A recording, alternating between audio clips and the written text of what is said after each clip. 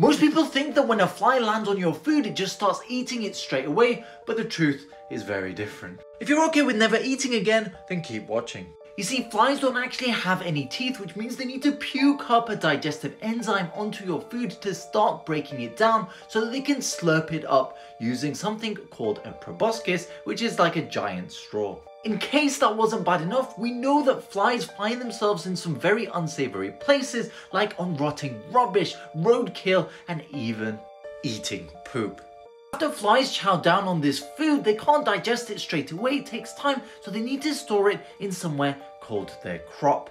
This is the exact place that those digestive enzymes that we mentioned earlier that are vomited up actually come from. And so bacteria from that roadkill, that poop, that rubbish can actually end up landing on your food via these flies. Professor of entomology John Stoffolano says that this could be an even bigger risk to health